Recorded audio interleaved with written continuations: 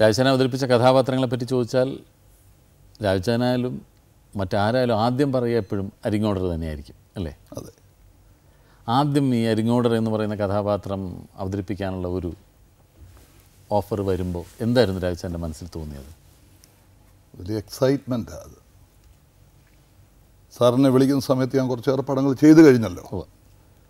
അപ്പോൾ അതേ അതുവരെയുള്ള ഒരു ഒരു പ്രത്യേക ഒരു മുറിക്കുള്ളിൽ കടന്ന് ഞാൻ വീർപ്പുമുട്ടിയായിരുന്നു അതിൽ നിന്ന് രക്ഷപ്പെടണം ഇമേജ് ആ സമയത്താണ് അദ്ദേഹം ക്ഷണിക്കുന്നത് ഹരൻ സാർ വിളിക്കുന്നത് അരിങ്ങോടർ എന്നുള്ളത് എന്താണെന്ന് പോലും ആഴത്തിൽ പഠിച്ച് മനസ്സിലാക്കുന്നത് പോലും അതിന് ശേഷമാണ്. പറഞ്ഞു കേട്ടിട്ടുണ്ട് നമ്മൾ വായിച്ചു കേട്ടിട്ടുണ്ടെങ്കിൽ പോലും. ആ കഥാപാത്രം ഉൾക്കൊണ്ടതൊക്കെ അദ്ദേഹത്തിന്റെ അടുത്ത് ചെന്നതിന് ശേഷമാണ്. ചെന്ന ലൊക്കേഷൻ ചെന്ന ദിവസം തന്നെ ഫുൾ സ്ക്രിപ്റ്റ് എടുത്ത് കയ്യിലോട്ട് തരിക എന്റെ സിദ്ധിക്ക്. എത്രയോ പടങ്ങൾ ചെയ്തു അങ്ങനൊരു പാരമ്പര്യമോ ചരിത്രമോ എങ്ങും ഞാൻ കണ്ടിട്ടില്ല. അപ്പോൾ തന്നെ നമുക്കൊരു ഒരു എനർജി കിട്ടും.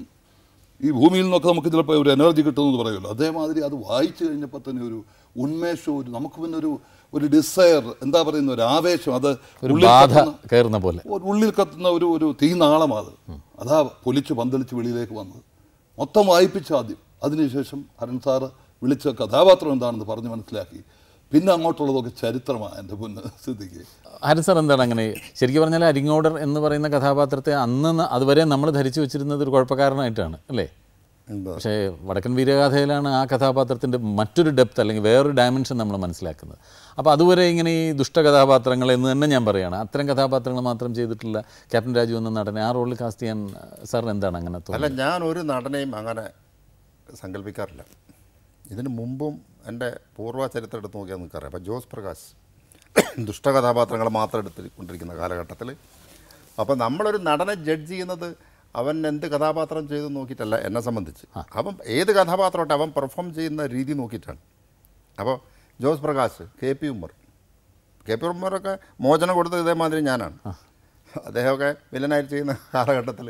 സുജാതയിലൊക്കെ എത്ര സുജാതയിൽ പിന്നെ പിന്നെ രാജയോഗം എന്ന് പറഞ്ഞ പടത്തിൽ രാജയോഗത്തിൽ ഹീറോ ഈ ഹീറോ ആയിട്ടാണ് കാരണം ഒരു നടൻ എന്ന് പറഞ്ഞാൽ എല്ലാ കഥാപാ നടൻ എന്ന് പറഞ്ഞാൽ എല്ലാ കഥാപാത്രങ്ങളും ചെയ്യാൻ കഴിവുള്ളവനായിരിക്കണം കഴിവുണ്ടായിരിക്കും.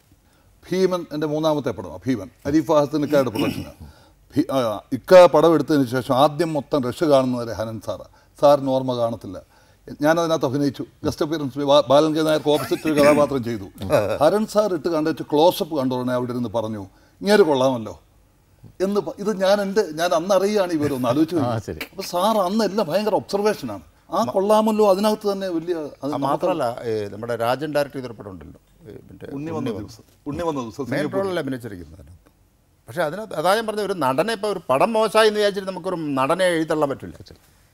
മോശമായ പടത്തിലും നല്ല പെർഫോമൻസ് ചെയ്തിട്ടുള്ള ആളുകളുണ്ടാകാം അപ്പോൾ ക്യാപ്റ്റനെ ഞാൻ പല പടങ്ങളിലും കണ്ടിട്ടുണ്ട്. എനിക്ക് ഞാനങ്ങനെ നോക്കിയിരിക്കുകയായിരുന്നു എവിടെയാണ് യൂസ് ചെയ്യേണ്ടതെന്ന്. പക്ഷേ അമൃതങ്കമേൽ നല്ലൊരു റോൾ നല്ല റോൾ ചെയ്തല്ലോ. അമൃത അമൃതങ്കമയിൽ തന്നെ ഞാനത് പൊളിച്ചു.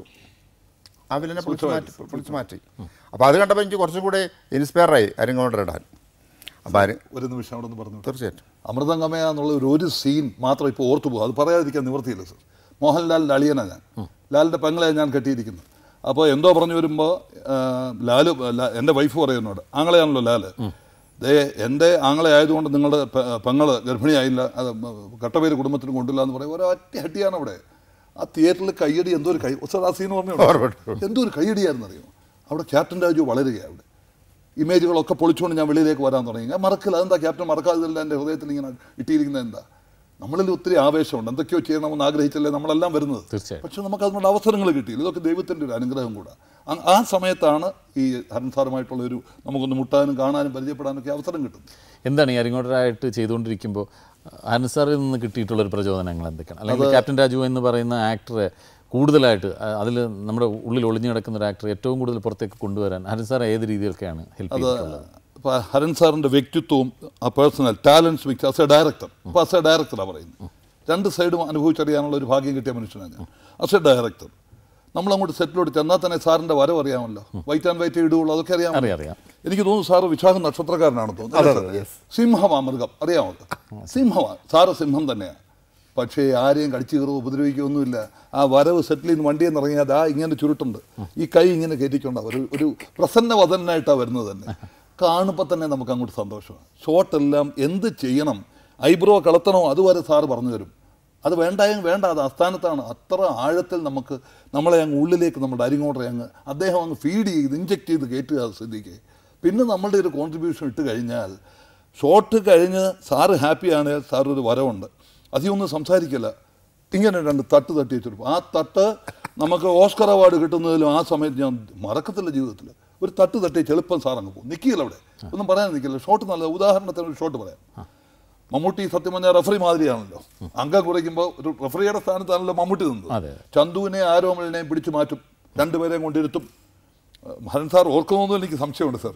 ഞാൻ അങ്ങനെ അധികം കുറച്ച് പ്രായമുള്ള ആളാണ്. ഞാൻ അങ്ങനെ പോയി എന്നെ ഇരുത്തി റെസ്റ്റ് എടുക്കുക. ബ്രേക്ക് മാതിരിയാണ് ഞാൻ അങ്ങോട്ട് ചെന്ന് നേരെ ഇങ്ങനെ ആയിരുന്നു ഞാൻ ഇങ്ങനെ കാലും അട്ടിക്കൊണ്ട് ഇരുന്നു. സമയം നമ്മുടെ നടൻ ജോണി ഇളനീരുമായിട്ട് വരിക. ഇളനീരുമായിട്ട് ഞാൻ അങ്ങോട്ട് കുടിച്ചുകൊണ്ടിരിക്കുമ്പോൾ സുരേഷ് ഗോപി അപ്പുറത്ത് നിന്ന് ആരോമലൊരു ഡയലോഗുണ്ട് അപ്പുറത്തുണ്ട്. അത് ഷോട്ടാ നമ്മൾ ഇങ്ങനെ വന്ന ഷോട്ടിലെ ഭാഗമായത്. റെസ്റ്റ് നമ്മൾ വന്നിരിക്കുന്നു. സുരേഷ് ഗോപി അപ്പുറത്ത് പോയിരുന്നു. സുരേഷ് ഗോപി ടയർഡാണ് ഞാനും ടയർഡാണ് അംഗം മധ്യ സമയമായി കഴിഞ്ഞ അംഗത്തിന്റെ ഞാൻ ഇങ്ങനെ ഇരിക്കുകയാണ്. ജോണി ഇളനീരുമായിട്ട് വന്നു. ഞാൻ ഈ ഇളനീര് കുടിക്കുന്ന സമയത്ത് കാൽ താഴെ വെച്ചിട്ട് ഇതാ ഇങ്ങനെ കുടിച്ചുകൊണ്ടിരിക്കുമ്പോഴാണ് പറയുന്നത്. അപ്പുറത്തുനിന്ന് ആരോമൽ വിളിച്ചു പറയും. അരിങ്ങോണ്ടറേ കള്ളക്കോൽ വെക്കരുത് എന്ന് പറയും. ഞാൻ ഈ ഇളനീര് നോട്ടം നോക്കിയിട്ട് ഒരു ഏറുണ്ട് സാറ് ഷോട്ട് എടുത്തോണ്ടിരിക്കല്ലേ? എയർ കഴിഞ്ഞിട്ട് പറയും. ആരോമലെ പഠിപ്പ് തികയാത്തതിന്റെ കുറവ് എന്നാണ് ഞാൻ വിശ്വസിക്കുന്ന ഡയലോഗ് ആ ഷോട്ട് അങ്ങോട്ട് കഴിഞ്ഞ് ഇളനീര് പറഞ്ഞേച്ച് ഞാൻ ആരോമലിനോട് പറയും നിനക്ക് പഠിപ്പായിട്ടില്ല നിനക്ക് തയ്യണം ഞാൻ കള്ളക്കോൽ വെച്ചിട്ടില്ല എന്നുള്ളത് ഉള്ളിൽ വെച്ചോണ്ട്. ഷോട്ട് കഴിയുകയും ഹരൻ സാർ ഒരു വരവ് വന്നു. അദ്ദേഹം പോലും ഓർക്കും തോന്നില്ല ഇത് തന്നെ ബാക്കിൽ രണ്ടടിയാണ് ആ രണ്ടടി എന്ന് പറഞ്ഞു കഴിഞ്ഞാൽ ഇന്ന് നമുക്ക് കുറച്ച് ലക്ഷങ്ങൾ ഒന്നിച്ചു തരുമോ അല്ലെങ്കിൽ ഒരു അവാർഡ് കിട്ടുന്നതിലും ഭയങ്കരമായിട്ടും വലുതായിട്ടും ഞാൻ കാണുക. ആസ് എ പേഴ്സൺ ഞാൻ കണ്ടു എന്റെ സ്ഥിതിക്ക്. സാറിന്റെ മൂത്ത മകളുടെ വിവാഹത്തിന് ഞാൻ മദ്രാസിൽ പോയിരുന്നു. നമ്മുടെ ഹരൻ സാർ സ്വീകരിച്ച എന്റെ ഒരു അമ്മ പ്രസവിക്കാത്ത ഒരു മൂത്ത ജ്യേഷ്ഠൻ. വന്ന് ഹഗ് ചെയ്ത് ഈ സന്തോഷത്തിന്റെ കണ്ണ് കണ്ണ് പൊടിഞ്ഞിരിക്കുക വെറ്റായിരിക്കുക. ഓരോരുത്തരും ഒന്ന് സ്വീകരിച്ച് നമ്മളെ ഹഗ് ചെയ്തുകൊണ്ടാണ് മരുമോന്റെ അടുത്തുകൊണ്ട് പരിചയപ്പെടുത്തുന്നത്. പരിചയപ്പെടുത്തിയപ്പോൾ ഞാൻ മരുമോനോട് പറഞ്ഞു മോനെ എന്നെയൊക്കെ നടനാക്കിയത് ഇദ്ദേഹമാണെന്ന് പറഞ്ഞു. ഉടനെ സാറ് എന്നെയൊക്കെ അരിങ്ങോട്ടറാക്കി എനിക്ക് ലൈഫിൽ ഒരു ചേഞ്ച് തന്നു. ഇത്രയും പറഞ്ഞപ്പോഴത്തേക്ക് ഉടനെ സാറിന്റെ ഡയലോഗ് കേൾക്കണം ക്യാപ്റ്റന്റെ സൈഡിൽ നിന്ന് പറയുന്നതൊക്കെ പക്ഷേ they are all talented actors ഞാനല്ല ഞാൻ വെറും നിമിത്തമായെന്നേ ഉള്ളൂ. കാരണം സാർ അവിടെയും അല്ല സാർ വേറെ ആരാന്തേലും ആ, അതെ എന്നല്ല പറയൂ? ഞാനാണ് എന്നല്ല പറയുള്ളൂ? ഇത് നേരെ തിരിച്ചു ആ ഒന്നുമില്ല ഒന്നുമില്ല. എന്നെ കട്ട് ചെയ്ത് അവിടെ സാർ. ഒന്നുമില്ല അതൊക്കെ ദൈവാനുഗ്രഹം നിങ്ങൾ you are all good artist എന്നാ സാർ പറഞ്ഞു look at the other dimension ഞാൻ ഫ്രണ്ടിരിക്കുമ്പോഴാണ് മമ്മൂട്ടി വന്ന് മമ്മൂട്ടിയെ സ്വീകരിച്ചത് കാണണം അവിടെ ഈ കണ്ണ് ആ സന്തോഷ മുഹൂർത്തം ഒരച്ഛന്റെ ഏറ്റവും വലിയ മുഹൂർത്തമാണെന്ന് ഓർത്തോണം. So it's a wonderful father അതിന് മുമ്പേ ഞാൻ ഈ കുഞ്ഞുങ്ങളോടുള്ള ഞാൻ സാറിനെ വിളിച്ചാൽ ആദ്യം ചോദിക്കുന്നത് മോളെന്തിന് എവിടെയായി? ശരിയല്ലേ സാർ? രണ്ടാമത്തെ കുഞ്ഞ് എത്രയായി? മോന്റെ കാര്യം ചോദിക്കും.